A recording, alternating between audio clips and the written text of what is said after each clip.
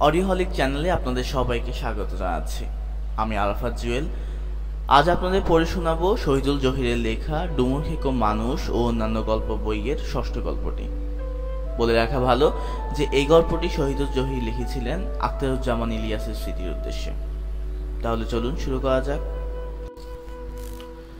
আব্দুল ওয়াহিদের সুহাসিনীতে প্রত্যাবর্তনের খবর গ্রামের লোকেরা প্রথম জানতে পারে গ্রামের মুদি দোকানদার তোরাপালির কাছ থেকে। সুহাসিনীর লোকদের ভেতর যারা তাকে আগে দেখেছিল, তারা সেদিন রাতে অনেকক্ষণ জেগে থেকে করপুটে কলকি চেপে ধরে তামাক খায় এবং তাকে নিয়ে কথা বলে এবং তাদের এই ভাবনা হয় যে, সে এখন গ্রামে কি করবে? এবং গ্রামের যারা তাকে চিনতে পারে না, তাদেরকে তারা কলকিতে লেগে যাওয়া থুতু হাতের চেটোই মুছে নিয়ে বলে, নকশালা ছিল। কারণ আব্দুল ওয়াহিদের কথা শোনার পর তার এই পরিচয়টি প্রথম মনে আসে।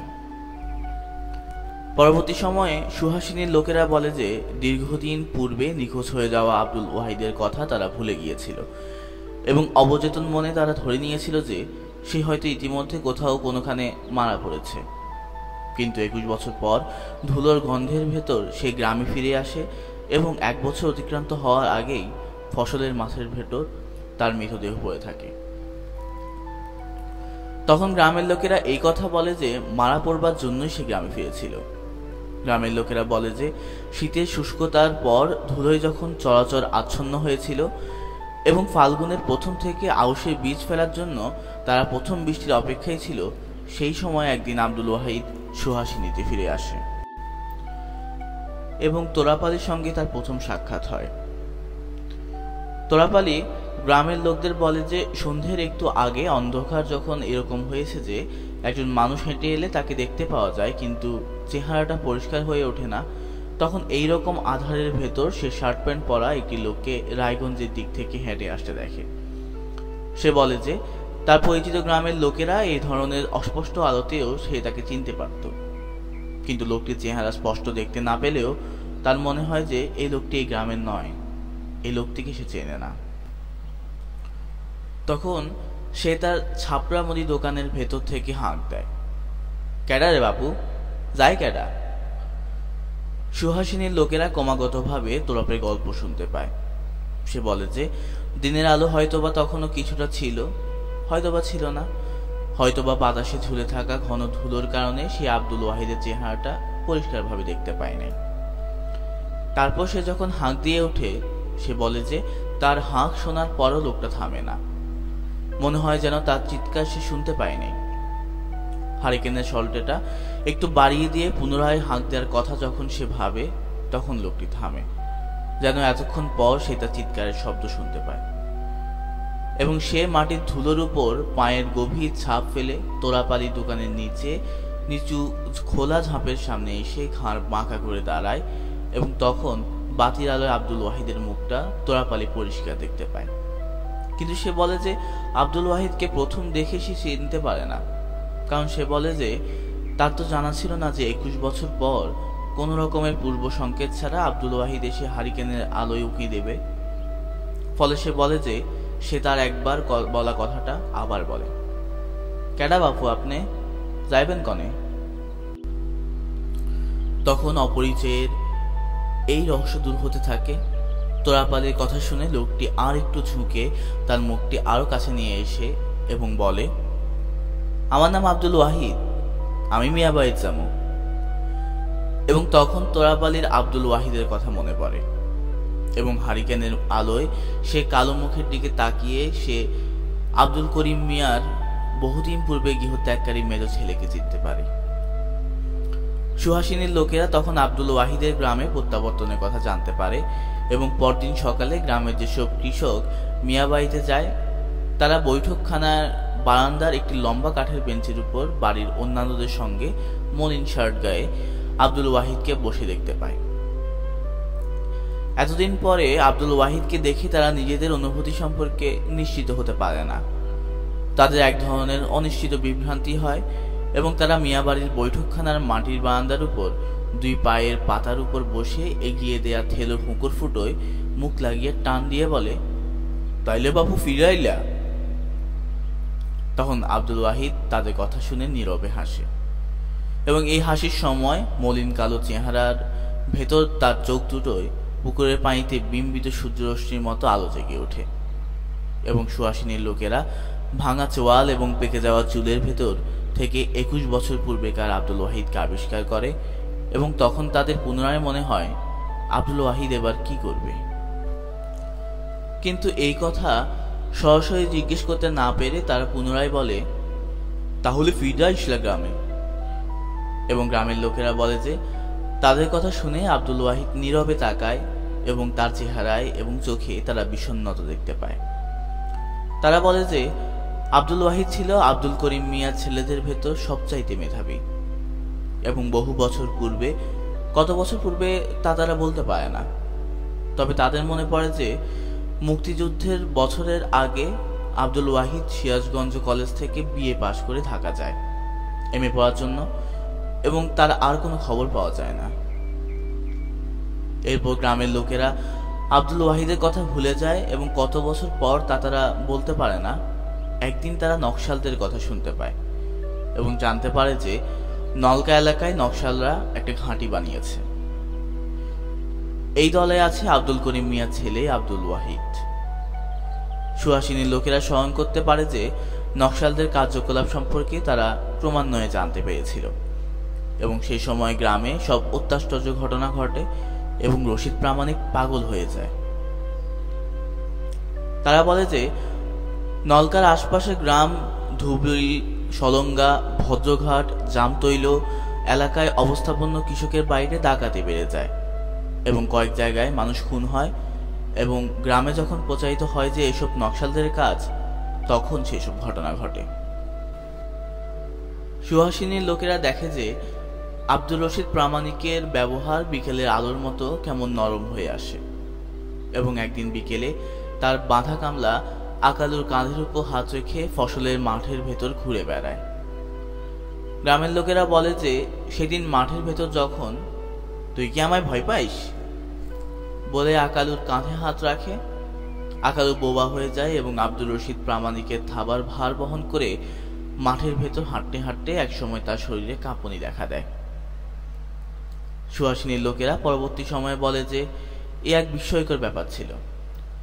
ফসলের মাঠের ভেতর আকালুর শরীরে কাঁপনি দেখে আব্দুল রশিদ প্রামাণিকেরও কাঁপনি দেখা দেয় এবং তারা দুজন কাঁপতে কাঁপতে বাড়িতে ফিরে বেঘোর জ্বরের ভেতর পড়তে থাকে।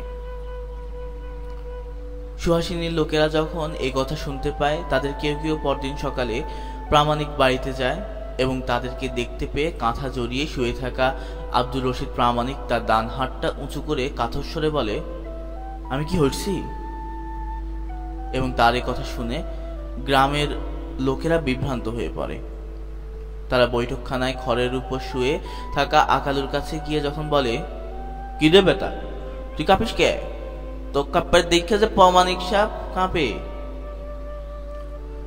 তাদের কথা শুনে আকালুর জ্বর আরও বেড়ে যায় এবং এই কথা শুনে বাড়ির ভেতর আব্দুর রশিদ প্রামাণিক বিকারগ্রস্ত হয়ে পড়ে।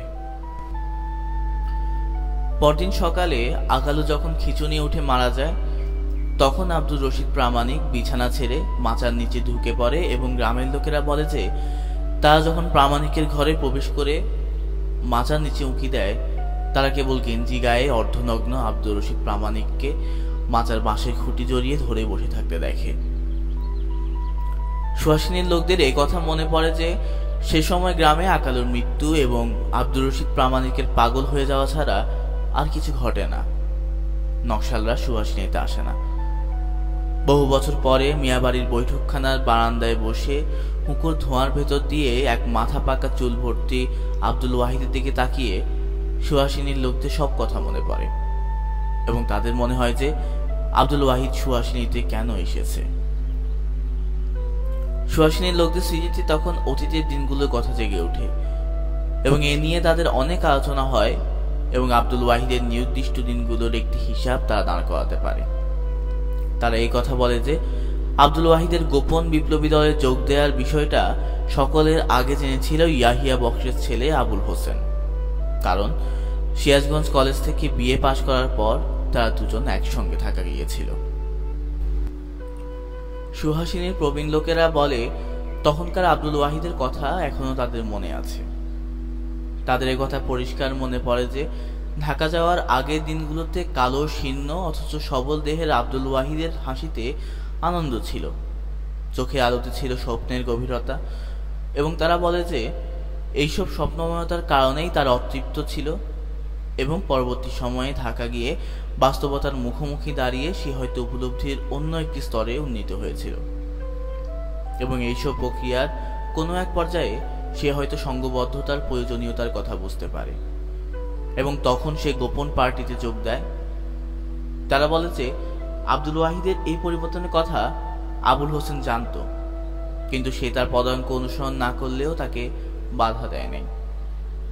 গ্রামের লোকেরা বলে যে, আবুল হোসেনের দিগন্ত বিস্তৃত স্বপ্ন এবং সেই স্বপ্ন বাস্তবায়নের জন্য বেপরোয়া আকাঙ্ক্ষা ছিল না।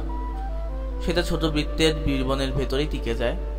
কিন্তু আব্দুল ওয়াহিদ যখন একুশ বছর পর ধুলোর ভেতর দিয়ে ফেরে তাকে তাদের একটি ধ্বংসস্তূপ বলে মনে হয়। কিন্তু আরও কিছুদিন পরে আব্দুল ওয়াহিদের যখন মৃত্যু হয় এবং গ্রামের লোকেরা যখন এই দুই বন্ধুর কথা বলে এবং আলোচনার সময় যখন নূরজাহানের প্রসঙ্গ এসে যায়, তখন সুহাসিনীর লোকেরা বড় বিভ্রান্ত বোধ করে। তারা এই বিষয়টি বুঝে উঠতে পারে না যে, বেঁচে থাকলে ভালো না মরে যাওয়া। তারা বলে যে, আব্দুল ওয়াহিদ যখন লেখাপড়া ছেড়ে দিয়ে উধাও হয়ে যায় তখন আবুল হোসেন তার এম এ পড়া শেষ করে এবং তারা মনে করতে পারে যে এম এ পাশ করে বহু বছর পূর্বে কোনো একদিন সে একা সুহাসিনীতে ফিরে আসে এবং ভালো কোনো চাকরি জোগাড় করতে না পেরে রায়গঞ্জ হাই স্কুলে শিক্ষকতা শুরু করে।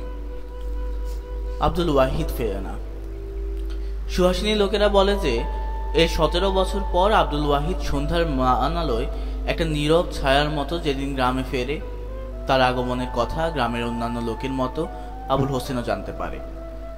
এবং পরদিন সকালে স্কুলে যাওয়ার পথে সে যখন মিয়া বাড়িতে এসে হাজির হয়, তখন কাচারি ঘরের বারান্দায় কাঠের বেঞ্চির উপর বসা বুড়ো মতো লোকটিকে দেখে মনে হয় যেন সে চিনতে পারে না। যদিও তা এক মুহূর্তে জানা হয়ে যায় যে এই আব্দুল ওয়াহিদ। সুহাসিনীর লোকেরা আব্দুল ওয়াহিদের সঙ্গে আবুল হোসেনের সাক্ষাতের কথা জানতে পারে এবং এ বিষয়ে তাদের খুবই কৌতূহল হয়। কারণ তারা এ কথা বলতে পারে না যে আব্দুল ওয়াহিদ এবং আবুল হোসেন বাল্লে এবং প্রথম যৌবনে ঘনিষ্ঠ বন্ধু ছিল এবং চূড়ান্তভাবে বিচ্ছিন্ন হওয়ার আগে তারা একসঙ্গে থাকা গিয়েছিল। এবং এই কথা জানা থাকায় গ্রামের লোকদের মনে হয় যে আবুল হোসেন হয়তো আব্দুল ওয়াহিদের দীর্ঘদিনের পর গ্রামে প্রত্যাবর্তনের কারণ বের করতে পারবে এবং তারা জানতে পারবে তার অন্তর্ধানকালীন ইতিহাস এবং তখন গ্রামের লোকদের নূরজাহানের কথাও মনে পড়ে। গ্রামের লোকেরা বলে যে, আব্দুল ওয়াহিদ লেখাপড়া ত্যাগ করে গোপন রাজনীতির সঙ্গে জড়িয়ে পড়ার বিষয়টি আবুল হোসেন জানলেও কথা সে কাউকে কখনো বলে নাই। গ্রামে কাউকেও না। লেখাপড়া শেষ করে বহুদিন পূর্বে সে যখন একা গ্রামে ফিরে আসে এবং গ্রামের গ্রামের লোকেরা তাকে আব্দুল ওয়াহিদের কথা জিজ্ঞেস করে, তখন সে বলে যে, আব্দুল ওয়াহিদ শহরে চাকরি করে। এবং গ্রামের লোকেরা যখন আরও বিস্তারিত জানতে চায়, তখন সে শুধু বলে ওয়াহিদকে তো তোমরা বাপু চেনো। সে শহরে অনেক বড় কাম করে। আবুল হোসেন গ্রামের লোকদের আর কিছু বলে না, এবং গ্রামের লোকেরাও আব্দুল ওয়াহিদের কথা ক্রমান্বয়ে ভুলে যায়। তারপর একদিন গ্রামের লোকেরা মনে করতে পারে না কবে, তবে তারা বলে যে, নূরজাহান যখন বুঝতে পারে যে শালিক পাখি ময়নার মতো কথা বলবে না, তারপর কোনো একদিন আব্দুল ওয়াহিদ সম্পর্কে তারা নিজেরাই জানতে পারে। তারা বলে যে সে সময় তারা তাদের জীবনে প্রথম নলকার একদল লোকের কথা শুনতে পায়। এইসব লোকের কথা সুজাপুর, নলছা, ব্যাংনাই এবং বাসুরিয়া গ্রামের ভেতর দিয়ে সুহানি সুহাসিনীতে এসে পৌঁছায় এবং তারা জানতে পারে যে এরা হচ্ছে নকশাল। এরা গরিবকে কিছু বলে না, কিন্তু ধনী কৃষকদের ধরে নিয়ে গিয়ে জবাই করে। সুহাসিনীর লোকদের জন্য সেটা ছিল এক বিভ্রান্তির কাল। তাদের মনে পড়ে যে সে সময় গ্রামের বড় কৃষকেরা খুব ভদ্র এবং ছোট ও বর্গা চাষি এবং ভূমিহীন কামলাদের প্রতি সহৃদয় হয়ে ওঠার পরও আব্দুর রশিদ প্রামাণিক, উত্তেজনা এবং আতঙ্কে পাগল হয়ে যায়। সুহাসিনীর লোকেরা বলে যে যে বিষয়টি আবুল হোসেন কখনো বলে নাই, সেই বিষয়টি তারা আব্দুর রশিক প্রামাণিক, মাচার তল থেকে বের হয়ে উলঙ্গ অবস্থায় ফসলের মাঠের ভেতর দিয়ে ছুটে যাওয়ার পর একদিন জানতে পারে। সুহাসিনীতে তখন কথা ক্রমান্বয়ে প্রচারিত হয় যে নলকায় যে দলটি রয়েছে, তাদের নেতা হচ্ছে আব্দুল করিম মিয়ার নিখোঁজ মেজ ছেলে আব্দুল ওয়াহিদ। সুহাসিনীর লোকেরা বলে যে, প্রথমে তারা ধরে নিয়েছিল খবরটা আসলে গুজব। কিন্তু ক্রমাগতভাবে একই কথা শোনার পর তারা এবং আব্দুল ওয়াহিদের পরিবারের লোকেরা বিভ্রান্ত এবং বিচলিত হয়ে পড়ে। তারা পুনরায় আবুল হোসেনের বাড়ি যায় এবং বলে, আব্দুল ওয়াহিদ ঢাকায় কি কাম হরে বাপু? এত বছর কাটতে যায় ও গাঁয়ে ফেরে না কে? কিন্তু গ্রামের লোকেরা পুনরায় আবুল হোসেনের কাছ থেকে পরিষ্কার উত্তর পেতে ব্যর্থ হয়। সে বলে যে, আব্দুল ওয়াহিদ ঢাকায় তখন কি কাজ করে বা সে গ্রামে কেন ফেরে না, তা তা জানা নাই। সুহাসিনী লোকেরা স্মরণ করতে পারে, নলকার নকশালদের নেতা আব্দুল ওয়াহিদের কথা যখন চারদিকে গ্রামে ছড়িয়ে যায়, কিন্তু একই সঙ্গে এক ধরনের বিভ্রান্তি টিকে থাকে, তখন একদিন ব্যাংনাই গ্রামে ডাকাতি হয়। এবং এই গল্প যখন গ্রামের লোক বিশদ জানতে পারে তারা পুনরায় আবুল হোসেনের কাছে যায় এবং সেই তাদেরকে তার পুরনো উত্তর দেয়, যে গ্রামের লোকদের বিশ্বাস হতে চায় না। সুহাসিনী লোকদের মনে পড়ে যে আব্দুল ওয়াহিদ সম্পর্কে ক্রমাগতভাবে অনেক কথা শোনার পর ব্যাংনাই গ্রামের ইয়াসিন বিশ্বাসের বাড়িতে কোনো একদিন বা রাতে ডাকাতি হয়। কিন্তু গ্রামের লোকেরা জানতে পারে যে এই ডাকাতেরা আসল ডাকাত ছিল না। তারা টাকা এবং সোনার অলঙ্কার নিয়ে যায় এবং যাওয়ার সময় ধরে নিয়ে যায় ইয়াসিন বিশ্বাস এবং তার বড় ছেলে জমির উদ্দিনকে সুহাসিনীর লোকেরা বলে যে, রাতে তারা দূরে ব্যাংনাইয়ের দিক থেকে মানুষের অস্পষ্ট চিৎকার শুনতে পেয়েছিল এবং তখন তারা ভেবেছিল যে এটা তাদের মনের ভুল। কিন্তু সকাল হয়ে যাওয়ার পর তারা সব জানতে পারে। তাদের মনে পড়ে যে সেনগাতি গ্রামের কাছে ইছামতি নদীর কিনারায় ইয়াসিন বিশ্বাস এবং তার ছেলের লাশ পাওয়া এবং তার এই কথা জানতে পারে যে মৃত ইয়াসিন বিশ্বাসের গেঞ্জির সঙ্গে এক টুকরো কাগজ সেটে দেয়া ছিল এবং তাতে লেখা ছিল শ্রেণি শত্রু খতম করা চলবে। গ্রামের এত কাছের এই ঘটনায় সুহাসিনীর লোকেরা যখন খুবই বিভ্রান্ত এবং বিচলিত ছিল, তখন এই খবরটি প্রচারিত হয় যে এই দলে ছিল আব্দুল ওয়াহিদ এবং তাকে কীভাবে চেনা যায় সেই বিষয়টিও লোকেরা জানতে পারে। গ্রামের লোকেরা বলে যে, গামছা দিয়ে মুখ বাঁধা থাকলেও ইয়াসিন বিশ্বাসের স্ত্রী এবং ছোট ছেলের চোখ দেখে আব্দুল ওয়াহিদকে চিনতে পারে। গামছার ফাঁক দিয়ে বেরিয়ে থাকা সেই চোখ ছিল কাজল টানা এবং মায়াবী। সুহাসিনীর লোকেরা যখন এই কথা শোনে, তখন তারা স্পষ্ট মনে করতে পারে না, আব্দুল ওয়াহিদের চোখ মায়াবী এবং কাজল টানা ছিল কিনা। তবে তারা বলে যে, হইবার পারে। তখন একদিন সুহাসিনীর লোকেরা জানতে পারে যে শুধুমাত্র কাজল টানা চোখ দিয়ে ইয়াসিন বিশ্বাসের স্ত্রী ও ছোট ছেলে তাকে চিনতে পারে নাই। তার দান চোখের কোনায় নিচের পাপড়িতে ছিল একটা কালো তিল। ইয়াসিন বিশ্বাসের স্ত্রী এই তিলটিও দেখতে পায় এবং আব্দুল ওয়াহিদকে চিনতে পারে। সুহাসিনীর লোকেরা এই বিষয়টিও স্মরণ করতে পারে না যে আব্দুল ওয়াহিদের দান চোখের নিচের পাপড়ির কাছে কালো তিল ছিল কিনা। তবে তাদের মনে হয় যে থাকতে পারে। হয়তো আব্দুল ওয়াহিদের চোখে ছিল কাজল এবং তিল। এর কিছুদিন পর নলকা এলাকায় পুলিশি তৎপরতা বেড়ে যায়, ফলে গোপন দলের তৎপরতা ক্রমান্বয়ে থেমে আসে এবং গ্রামের লোকেরা আব্দুল ওয়াহিদের আর কোনো খবর পায় না। তারা তার কথা ভুলে যায় এবং ধরে নেয় যে সে মরে গেছে। কিন্তু বহু বছর পর একদিন সে যখন ফিরে আসে, গ্রামের লোকদের তার চোখের কথা মনে পড়ে এবং তারা মিয়াবাড়ির বৈঠকখানার বারান্দায় যখন তার চোখের কাজল এবং তিলের সন্ধান করে কাজলের বদলে তারা দেখে অবধারিত বিষণ্নতা এবং তিলের বদলে কুঞ্চন। এবং গ্রামের লোকেরা বলে যে, সে মরার জন্যই গ্রামে ফিরে আসে। তারা বলে যে, আব্দুল ওয়াহিদ গ্রামে ফিরে আসার পরবর্তী হেমন্তে মাঠে যখন আমন ধান পেকে উঠতে শুরু করে, তখন একদিন প্রথম আক্রমণটি হয়। এবং সে জেনে শুনে সিদ্ধান্ত নেয় এবং প্রতীক্ষায় থাকে এবং এর চার দিন পর দ্বিতীয় ও চূড়ান্ত আক্রমণ ঘটে। সেদিন দুপুরে অথবা দুপুরের একটু আগে সূর্য যখন প্রায় মাথার উপর উঠে আসে, তখন গ্রামের উত্তর পূর্ব প্রান্তে জেলা বোর্ডের পুরনো পরিত্যক্ত সড়কের কাছে আব্দুল ওয়াহিদ, তার ছোট ভাই এবং কামলাদের সঙ্গে ধান কাটায় ব্যস্ত ছিল। তখন বিস্তৃত সোনালী মাঠের ভেতর কোলাহল শোনা যায়। গ্রামের কৃষকরা যারা তখন মাঠে ছিল, তারা হঠাৎ চারদিক থেকে অসংখ্য লোককে ফালা এবং অন্যান্য অস্ত্র হাতে মাঠের ভেতর দেখতে পায় এবং তারা ধান কাটা ত্যাগ করে ছুটে পালায়। গ্রামের লোকেরা যারা সেদিন পালিয়ে গিয়ে এই ঘটনা দূর থেকে দাঁড়িয়ে দেখে, তারা বলে যে আততায়ীদের আক্রমণের মুখে আব্দুল ওয়াহিদের ভাই এবং কামলারাও পালিয়েছিল। এবং তখন মাঠের ভেতর লুঙ্গি এবং হাফ হাতা গেঞ্জি পরা আব্দুল ওয়াহিদকে কাঁচি হাতে তারা একা দাঁড়ানো দেখতে পায়।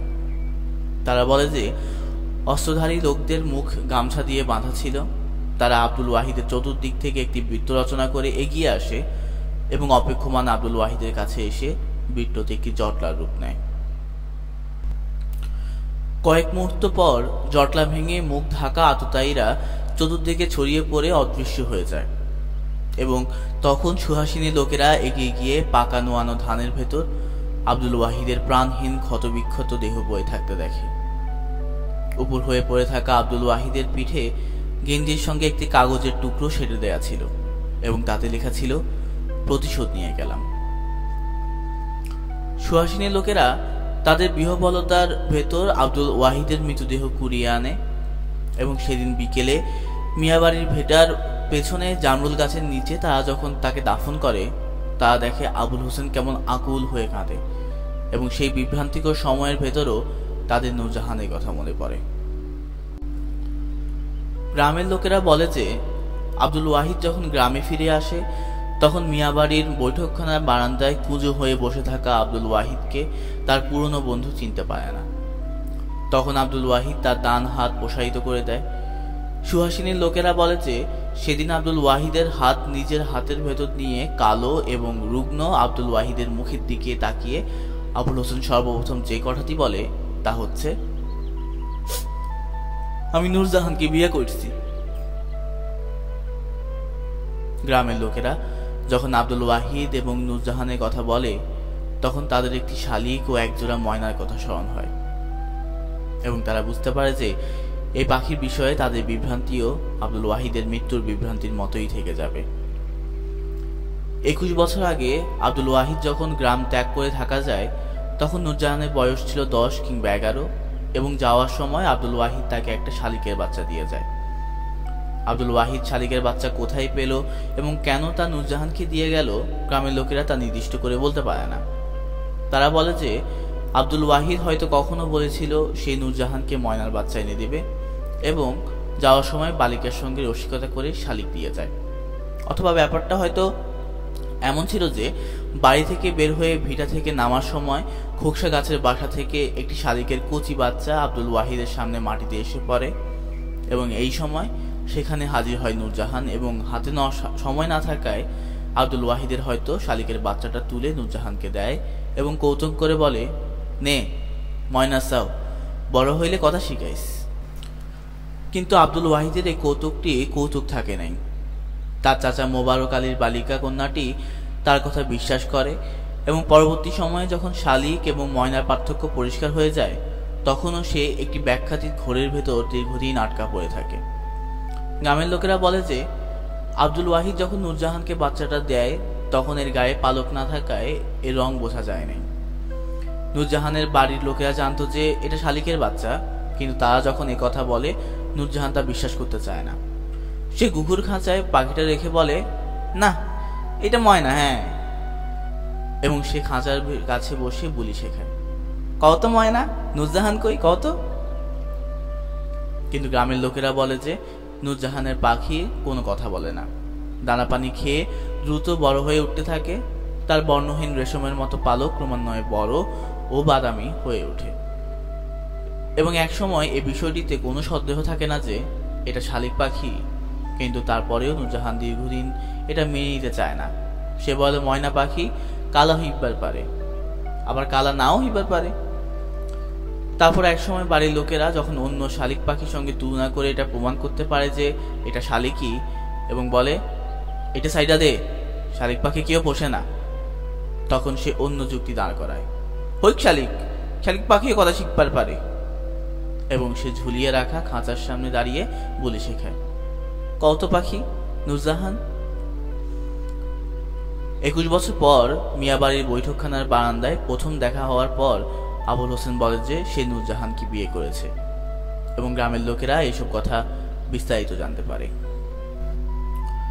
আবুল হোসেন বলে যে, সে গ্রামে ফিরে নূরজাহানের কথা শুনতে পায় এবং জানতে পারে যে, তিন বছর ধরে সে ক্লাস ফাইভেই থেকে যায়। কারণ, শালিক পাখিকে কথা শেখানোর চেষ্টা করতে গিয়ে তার নিজের পড়াশোনা করা হয়ে ওঠে নাই। এই সময় কোনো একদিন সে মোবারক আলীর বাড়িতে যায় এবং সেখানে চতুর্দশ বর্ষীয়া নূরজাহানকে ঘরের দরজায় ঝোলানো খাঁচায় একটি শালিক পাখির সঙ্গে কথা বলতে শোনে। নূরজাহান, কাও পাখি? বলে খাঁচার বাঁশের কঞ্চির কাছে মুখ এগিয়ে নিলে বুড়ো কুৎসিত এবং তাক পরা পাখিটা কিচিরমিচির করে খাঁচার কঞ্চির ফাঁক দিয়ে নূরজাহানের পুষ্টকলির মতো ঠোঁটে ছোট ছোট ঠোকর দেয়, যেন পাখিটা খুদ খেটে যায়। সুহাসিনীর লোকেরা বলে যে, সেদিন সেখানে আবুল হোসেন সিদ্ধান্ত নেয় যে সে নূরজাহানকে বিয়ে করবে এবং এর প্রায় সতেরো বছর পর সে এইসব কথা আব্দুল ওয়াহিদকে বলে। সে বলে যে, বিয়ে ঠিক হওয়ার পর, বিয়ের আগেই নূরজাহান বুড়ো পাখিটার কথা ভুলে যায় এবং বাড়ির অন্য কারও এ বিষয়ে আগ্রহ না থাকায় পাখিটা খুদ পিপাসায় খাঁচার ভেতর মরে শুকিয়ে থাকে এবং বাসর রাতে সে যখন জিজ্ঞেস করে তখন নূরজাহানের পাখিটার কথা মনে পড়ে। গ্রামের লোকেরা এই কথা এই ঘটনার কথা স্মরণ করতে পারে। তারা বলে যে, বিয়ের পরদিন সকালে নতুন বউ নূরজাহান বাপের বাড়িতে ছুটে চলে আসে এবং মাচার উপর থেকে যখন খাঁচা নামায়, তখন আকাশের দুই দিকে দুই পা তুলে চিত হয়ে থাকা পাখিটাকে দেখতে পায়। সম্মানিত শ্রোতাবৃন্দ, ধুলোর দিনে ফেরা এই গল্পটি কিছুটা বড় হয় আমরা সিদ্ধান্ত নিই যে খণ্ড খণ্ড আকারে গল্পটি প্রকাশ করব। তাই দ্বিতীয় খণ্ড নিয়ে আমরা শীঘ্রই আপনাদের কাছে ফিরে আসব ইনশাল্লাহ ইতিমধ্যে সাবস্ক্রাইব করে আমাদের পাশেই থাকুন। লাইক কমেন্ট এবং শেয়ার করে অডিও হলিককে ছড়িয়ে দিতে সাহায্য করুন। ধন্যবাদ।